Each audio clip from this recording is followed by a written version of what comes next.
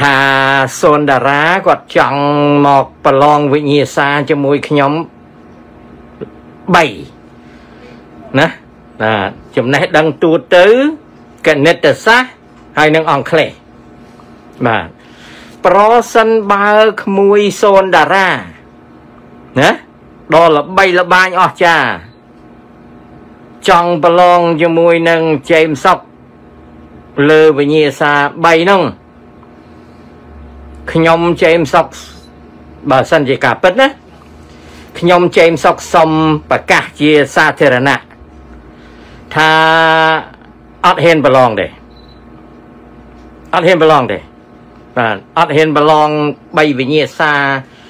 ចំណេះដឹងទូទៅគណិតសាស្ត្រអង់គ្លេសអត់ហ៊ានប្រឡងជាមួយក្មួយអត់ហ៊ានប្រឡងជាមួយក្មួយសូនតារាទេណា ណាប៉ុន្តែត្រៀមលក្ខណៈថ្វាយបង្គំទទួលស្គាល់ក្មួយសូនតារាហើយមិនត្រឹមតែត្រៀមលក្ខណៈថ្វាយបង្គំទទួលស្គាល់ក្មួយសូនតារាទេថែមទាំងថាបើមានឱកាសឲ្យសូនតារាមកជួបខ្ញុំហើយជន់អាចធាក់ក្បាលខ្ញុំថតដាក់ Facebook ដាក់ YouTube ឲ្យទៀតណា គឺសូមឲ្យតែសូនតារាធ្វើកិច្ចការពីរឲ្យបានជោគជ័យណាអានឹងបើសិនណាជាក្មួយសម្លាញ់សូនតារាគាត់ចង់ប្រឡងណាគាត់ចង់ប្រឡងវិញ្ញាសាជាមួយជេមសុកជេមសុកមិនបាច់ឲ្យប្រឡងទេសុំក្មួយសូនតារាបំពេញកិច្ចការឲ្យបានជោគជ័យពីរយ៉ាងទី1រកបាយជ្រះជ្រំកដាលដើមទ្រូងខ្លួនឯងឲ្យបាន អានឹងមួយ បានជោគជ័យចាត់ទុកថាជោគជ័យមួយជោគជ័យទី2សូនតារាតាំងពីបន្លំខ្លួន ចាក់ចេញពីប្រទេសកម្ពុជាមកដល់សពថ្ងៃ មកចង់ជ្រក់កោននៅអាមេរិកតោងជ្រក់កោនមិនបាន ទៅជ្រក់កោននៅអឺរ៉ុបហើយក៏ចេញសូវល្បីល្បាញមានមនុស្សភ្លុកទឹកភ្លុកដី ជឿតាមភាពភូតកុហករបស់សូនតារាណាដែលនិយាយពីរឿងហ៊ុនសែនអស់ហើយបដូរអញ្ចឹងទី2ឲ្យតែសូនតារានឹងបដូរហ៊ុនសែនបានណាបដូរគណៈបកប្រជាជនហ៊ុនសែនបាន អានឹងខ្ញុំជេមសុកនេះណា គឺរងចាំតែបានជោគជ័យពីរហ្នឹងគឺខ្ញុំលុតជង្គង់ថ្វាយអង្គមដាក់ Facebook ដាក់ YouTube ថ្វាយអង្គមក្មួយសូនតារាទី1គឺសុំឲ្យក្មួយសូនតារារកបាយជ្រះជ្រំកដាលដើមទ្រូងខ្លួនឯងកុំកុំចំណាយពេលអត់ប្រយោជន៍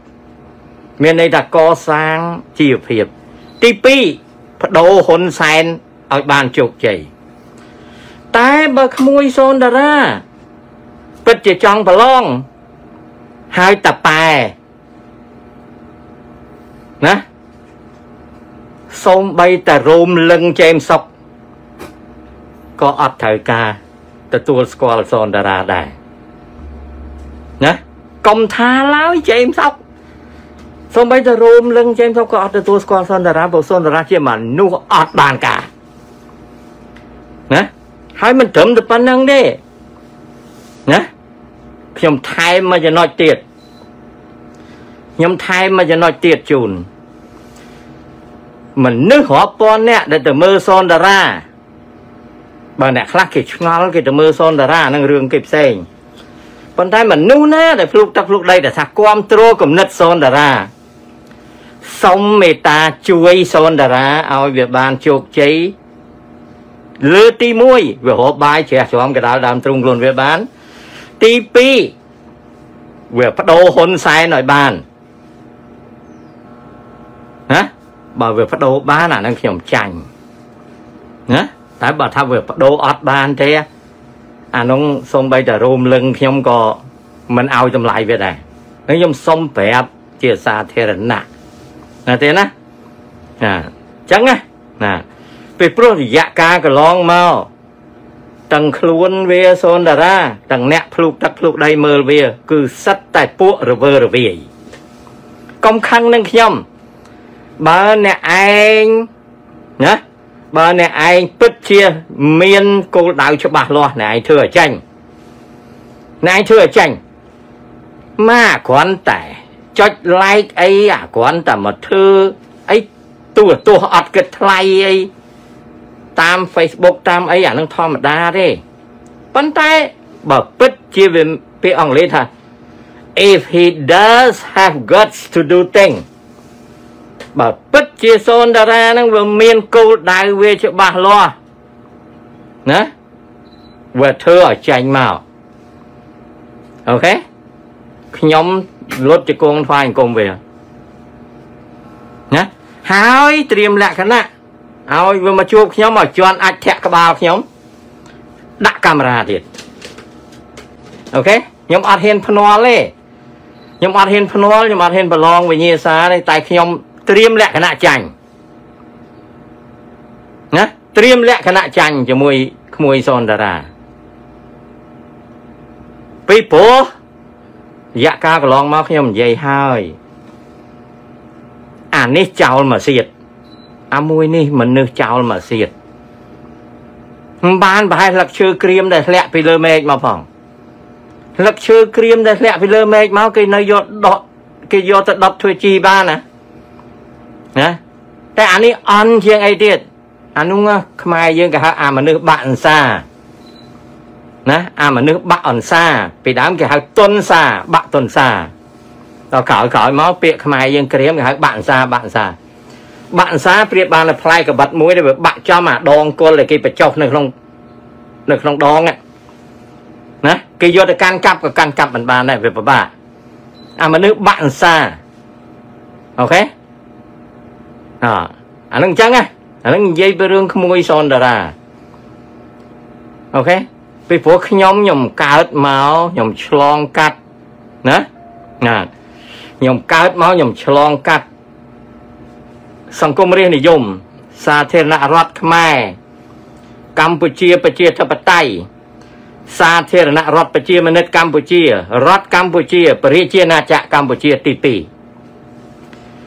ខ្ញុំឆ្លងកាត់6សម័យកាលនយោបាយខ្ញុំឆ្លងកាត់6សម័យកាលនយោបាយ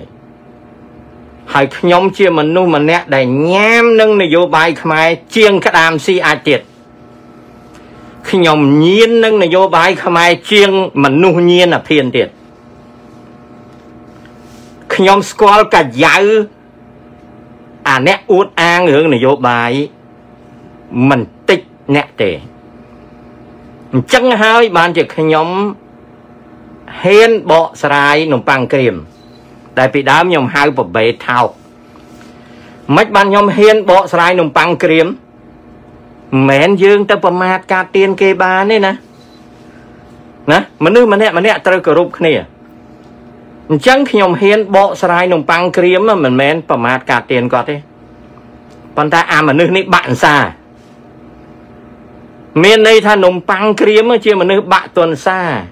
ខ្មែរក្រៀមមួយភាសាថាបាក់អន្សាបាក់អន្សា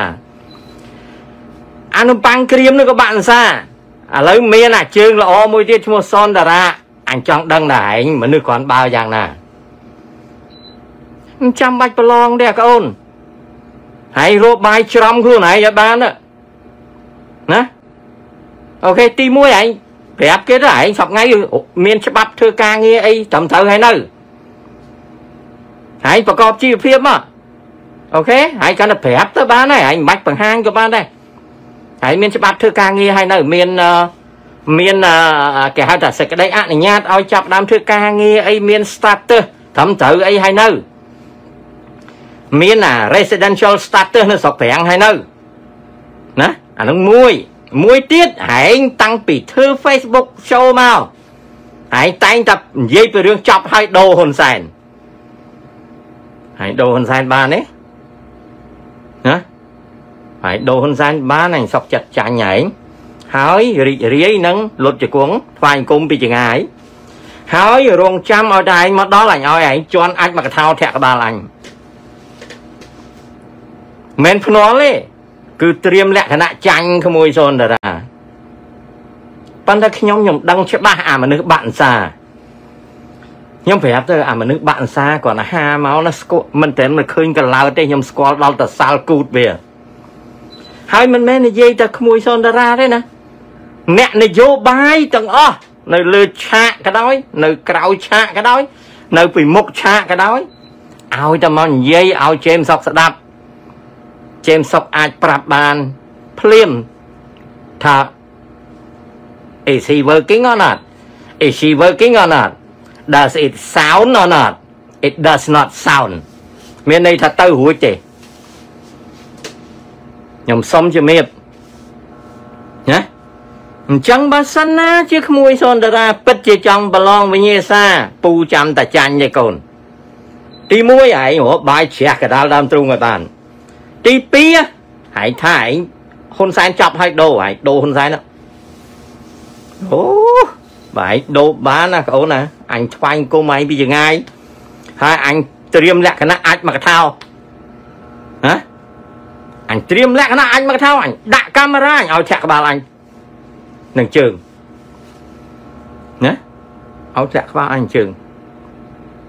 អូខេពីព្រោះអញច្បាស់ណាស់រឿងនយោបាយមិនមែនសើកសើកដូចឯងគ្រាន់តែនិយាយឲ្យមនុស្សល្វើល្វាយទេណាមិនមែនចឹងទេអាកូនហើយកុំច្រឡំ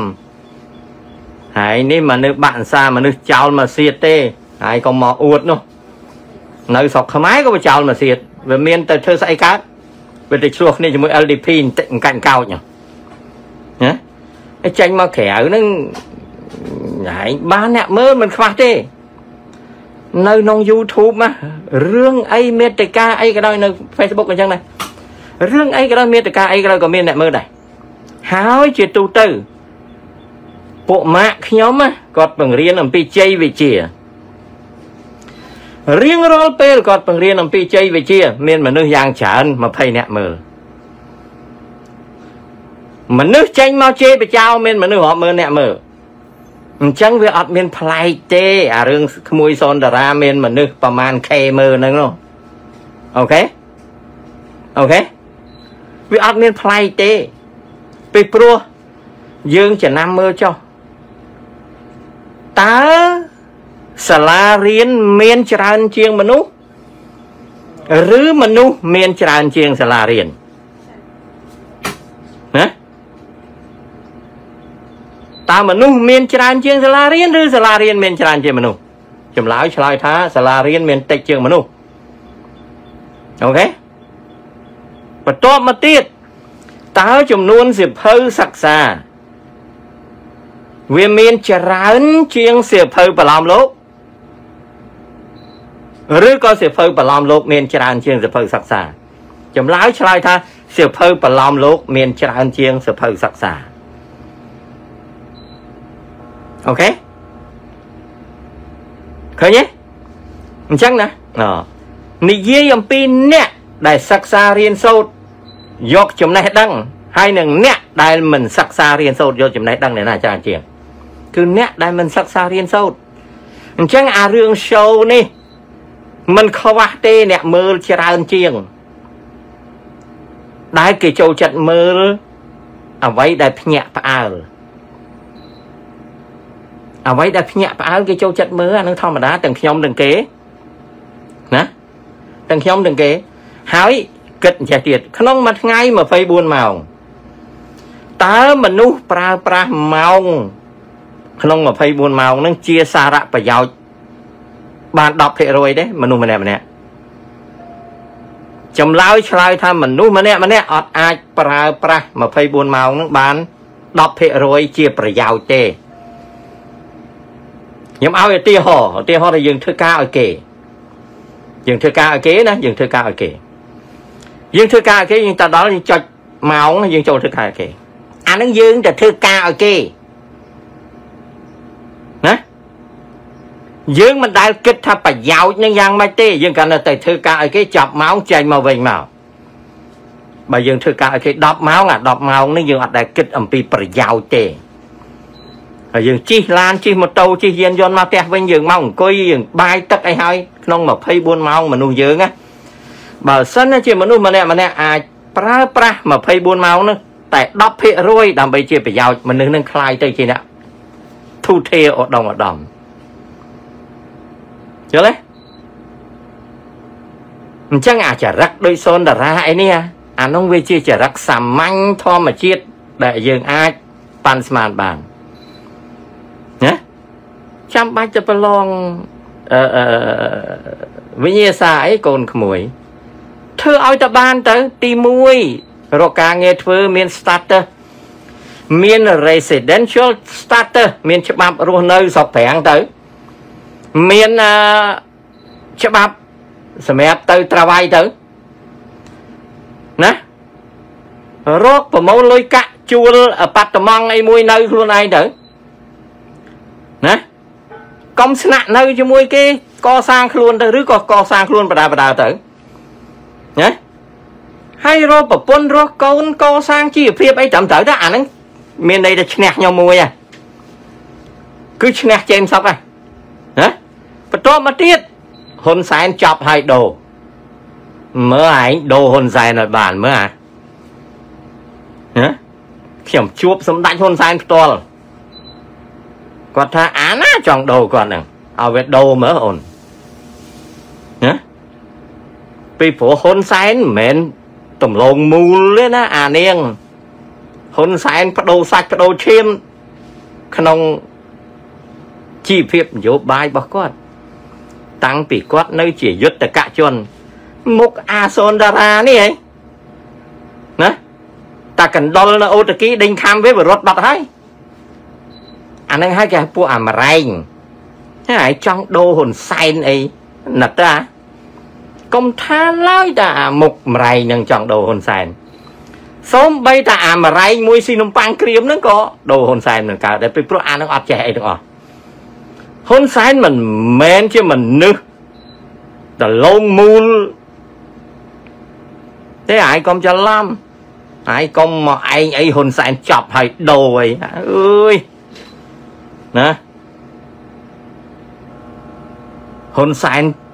គឺជាមនុស្ស had been tested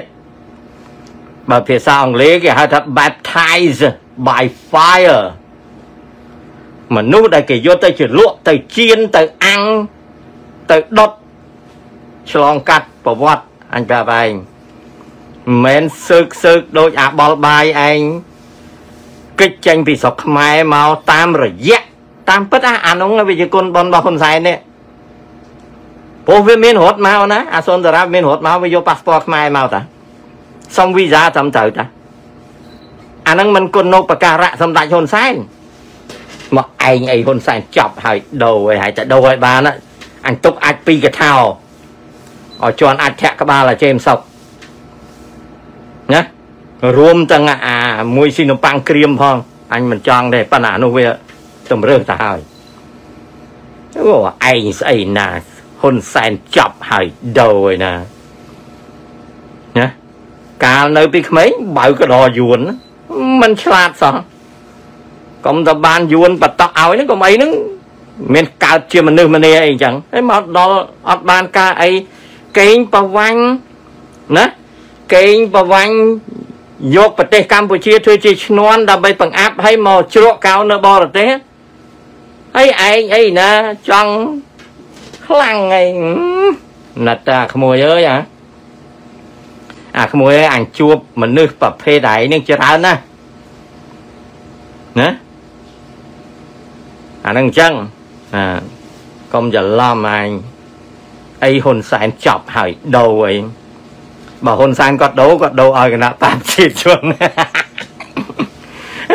បើហ៊ុនសែនគាត់ដូរវិញគាត់ដូរឲ្យកម្មាភិបាលណាដឹកនាំថ្មីនៃគណៈបព្វជិជនហ្នឹងគាត់មិនមែនដូរឲ្យឯងនេះកំភ្លើអញទុកអាចពីកថាអាអូនមិនបាច់ប្រឡងមួយមួយមួយពូអាអូនអញទុកអាចពីកថាហើយធ្វើឲ្យបាន ទី1អាសូនតារាត្រូវតែរកបាយជ្រះជ្រាំកដាលដើមទ្រូងដោយខ្លួនឯងគឺមានជីវិតរស់នៅខ្លួនឯងទី2ហើយដូរហ៊ុនសែនឲ្យបានតែប៉ុណ្្នឹងហើយប្រឡងជាប់អាពៅអាហ្នឹងបើសិនជាឯងចង់ប្រឡងជាមួយចុកសេន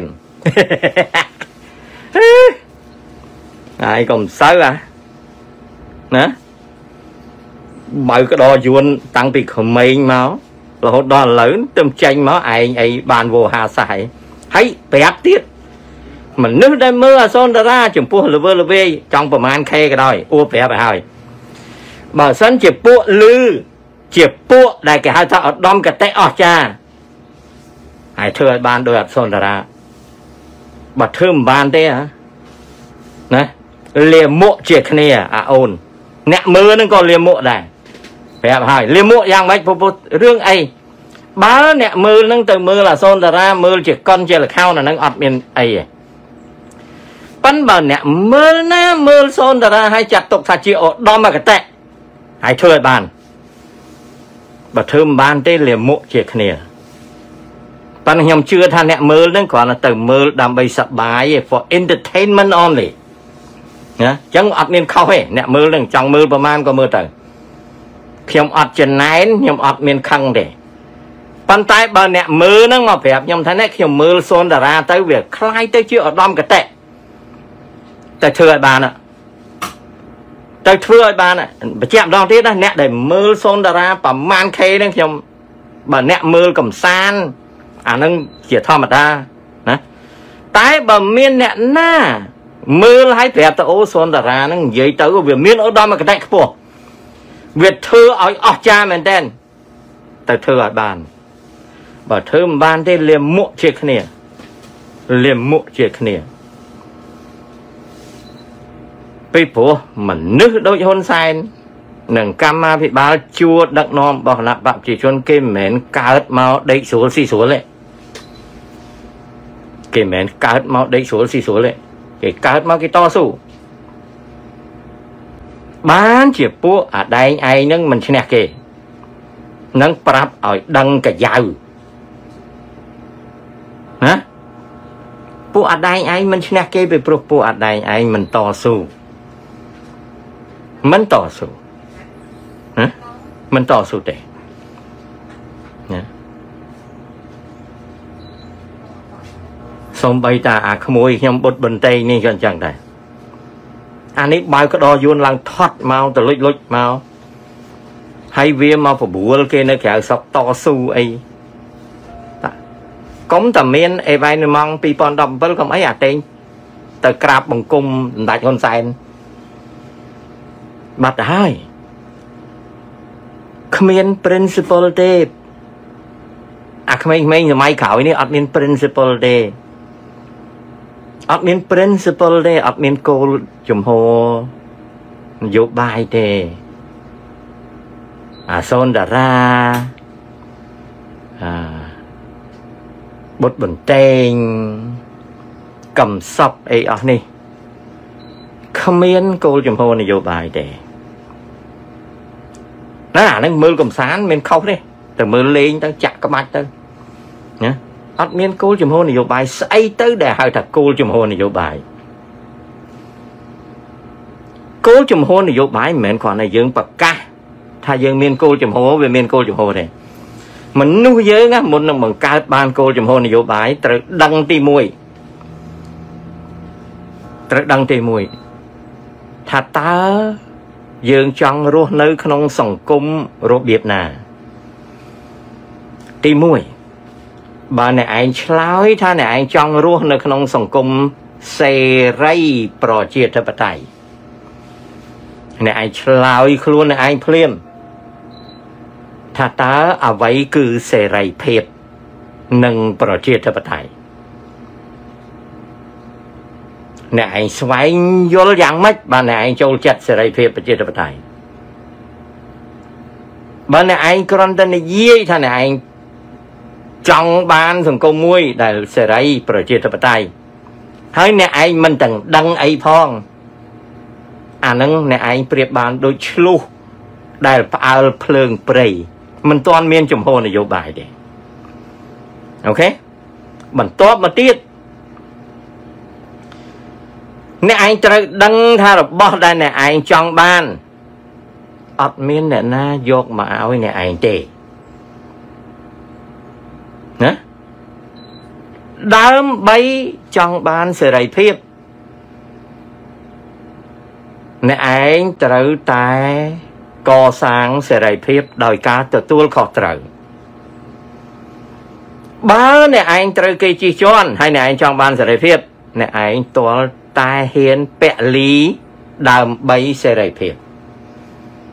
ដល់ឲ្យបានណាបើកូនក្មួយបងប្អូនលោកអ្នកចង់បានសេរីភាព វាទាល់តែបងប្អូនកូនក្មួយលោកអ្នកយល់ដឹងឲ្យច្បាស់ថាសេរីភាពកើតឡើងដោយការទទួលខុសត្រូវអាហ្នឹងបើសិនជាអត់មានការតស៊ូអត់មានណាជិះជាន់ទេប៉ុន្តែយើងចង់ឲ្យឲ្យឲ្យមានសេរីភាពសេរីភាពគឺកើតមកដោយការទទួលខុសត្រូវ you exercise your rights freedom and liberty with responsibility អ្នកឯងត្រូវអនុវត្តសិទ្ធិសេរីភាពរបស់អ្នកឯងដោយការទទួលខុសត្រូវតែបើអ្នកឯងមិនព្រមទទួលខុសត្រូវទេអ្នកឯងអត់អាចអនុវត្តសិទ្ធិសេរីភាពអ្នកឯងតាមចិត្តបានទេអានឹងបើសិនជាអត់មានអ្នកណាគេជិះជាន់ណាប្រសិនបើសង្គមមួយត្រូវគេជិះជាន់ហើយអ្នកឯងចង់បានសិទ្ធិសេរីភាពសិទ្ធិសេរីភាព ត្រូវបដូរនឹងការលះបង់ if you are oppressed you are intimidated you are limited from exercise your rights and freedom you must struggle for rights and freedom and when you gain rights and freedom you must exercise rights and freedom with responsibility អញ្ចឹងដូចក្មួយសូនតារាអីគិនដូចមកអផេះយកប៉ាសពតរាជការហ៊ុនសែនចេញមកមកបន្លំខ្លួន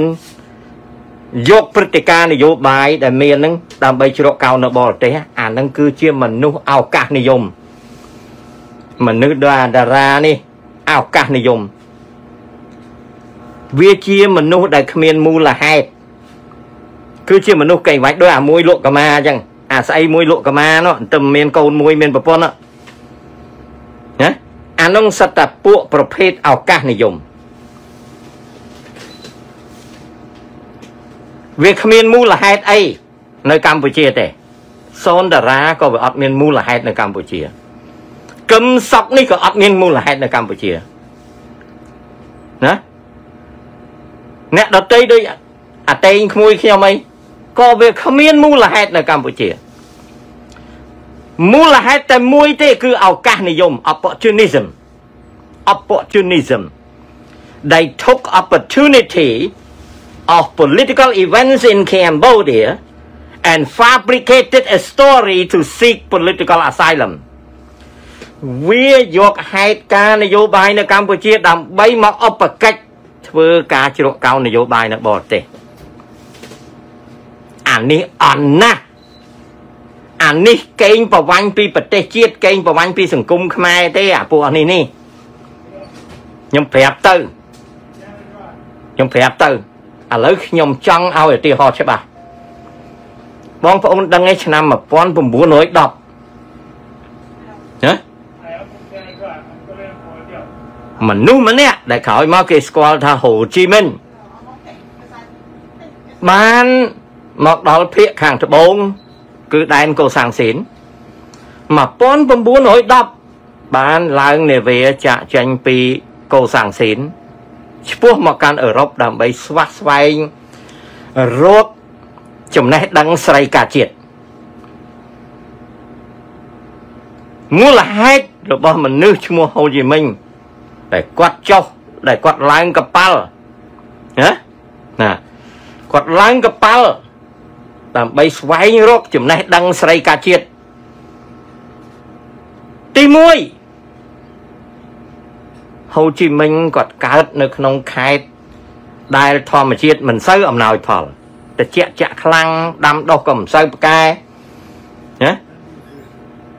ហើយក៏គាត់កើតចិត្ត តស៊ូនឹងអាណានិគមនិយមបារាំងគាត់បានរើពីខេត្តកំណើតរបស់គាត់មកភេកខាងត្បូងដើម្បីស្វែងរកបពួកធ្វើស្រីការជាតិគាត់រកមិនបានគាត់ក៏សក់ចិត្តឡើងនាវាដើម្បីស្វែងរកទ្រឹស្ដីនិងរបៀបស្រីការជាតិ1910 គាត់ឡើងនាវាធ្វើជាអ្នកជោគធ្យូងថ្មចាក់ម៉ាស៊ីន steamboat និងជួយរៀបចំចង្វាក់យុទ្ធការនាវាជួយលាងចានឲ្យភោជនីយដ្ឋាន ដែលគេបំរើក្នុងនាវាយប់ឡើងអត់មានភួយដណ្ដប់ សុកចិត្តទៅអង្គុយក្បែរកន្លែងឡគេដុតជូងថ្មអត់មានចង្គៀងសុកចិត្តអង្គុយមើលអណ្ដាតភ្លើង ដើម្បីអានសភៅហៅធ្វើការតស៊ូរហូតដល់មកដល់អឺរ៉ុបមកបោកតកកមកចាក់ខ្លាញ់ប្រេងចង្គៀងតាមវិថីនានានៃទីក្រុង London រហូតដល់ធ្វើដំណើរមកដល់អាមេរិក ដើម្បីស្វែងរកថាតើកន្លែងណាដែលអាចជាយានឲ្យអឺហូជីមិញអឺអឺអឺអឺបង្កើតបាននៅចលនាស្រីកាជាតិមកអាមេរិករកមិនបាន នៅ អង់គ្លេសរកមិនបានក៏ព្រិលទៅទៅដល់សូវៀតក៏ចូលរៀនចំណេះដឹង ប្រឡងជាប់ចាញ់ពីសាកលវិទ្យាល័យប្រជាជនក៏រកគំនិតដើម្បីសេរីការជាតិអត់បានពីព្រោះចលនាកុម្មុយនីសអន្តរជាតិអត់គាំពែឲ្យធ្វើសេរីការជាតិអញ្ចឹងក៏ចំណាយពេលនៅអឺរ៉ុបដើម្បីបំរើចលនាកុម្មុយនីសអន្តរជាតិរហូតដល់រដូវកាល ដែលចលនាកុម្មុយនីសអន្តរជាតិអនុញ្ញាតឲ្យហូទៅកសាងចលនាបដិវត្តនៅអាស៊ីអាគ្នេយ៍ហើយគាត់ក៏ចោះទៅធ្វើការនៅរោងចក្រលីសែងដឹកទឹកលក់នៅហុងកុងបោកសម្រាមដឹកអាចនៅម៉ាកាវរហូតដល់ក្រោយមកគេចាប់គាត់ ហើយក៏គាត់បានរួចខ្លួនគាត់ចុះទូកទៅសត្វតាហិតថៃឡង់គាត់ឡើងមកគាត់រស់នៅគាត់ស្កាត់ទៅជួបអ្នកស្នេហាជាតិមានដងថុកវ៉ាជាដើម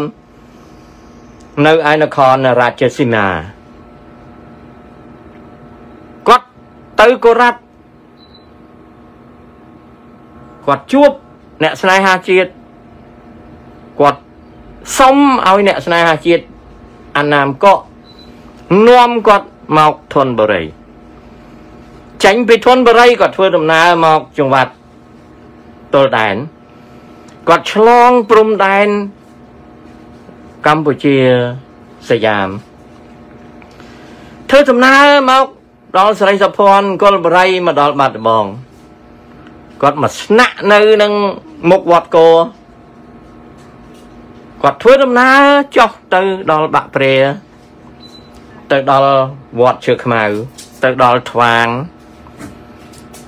ទៅដល់វត្តលោកយួន ទៅដល់ព្រែកតលទៅដល់កញ្ជោមគាត់ធ្វើដំណើរពីកញ្ជោមនឹងចុះទៅចុងគ្នាចុះអីរហូតដល់គាត់ធ្វើដំណើរទៅដល់ទីក្រុងភ្នំពេញគាត់ទៅជួបគ្នាគ្នាគាត់នៅទួលទំពូង ទៅគាត់ដឹងដានសពគ្រប់គាត់ក៏វិលត្រឡប់មកថៃវិញហើយចេញពីថៃទៅខ្វាងស៊ីគាត់ទទួលបេសកកម្មរបស់ចលនាកុម្មុយនីសអន្តរជាតិហើយគាត់កសាងសម្ព័ន្ធបដិវត្តដើម្បីសេរីការជាតិវៀតណាមគាត់កសាងសម្ព័ន្ធបដិវត្តដើម្បីសេរីការជាតិប្រទេសឡាវ គាត់កសាងសម្ព័ន្ធដើម្បីសេរីការជាតិខ្មែរហើយក្រោយមកឆ្នាំ30ខែកុម្ភៈគាត់បង្រួបបង្រួមចលនានយោបាយត្រុតស្គីនយោបាយកុម្មុយនីសនយោបាយដឺងវ៉ានយោបាយ one day 5នយោបាយឲ្យរួបរวมគ្នាបង្កើតនៅបកកុម្មុយនីសឥណ្ឌូចិន 1941គាត់រៀបចំផ្ទុះអាវុធគាត់រៀបចំផ្ទុះអាវុធដោយរៀបចំនៅសម្ព័ន្ធស្រីការជាតិវៀតណាមតែក្រោយមកគេហៅថាយឹកមិញ4ឆ្នាំក្រោយមកគាត់សហ ការជាមួយនឹងសម្ព័ន្ធមិត្តសង្គ្រាមលោកលើកទី2លោកសេរីសហការជាមួយនឹង SOS សហការជាមួយនឹងអង់គ្លេសផងអាមេរិកកាំងផងសហការជាមួយចិនចាំងកែជាផង1945ហូបានទទួលជោគជ័យប្រកាសឯករាជ្យភាពវៀតណាមខាងជើងហៅថាសាធារណរដ្ឋប្រជាមានិតប្រជាធិបតេយ្យវៀតណាម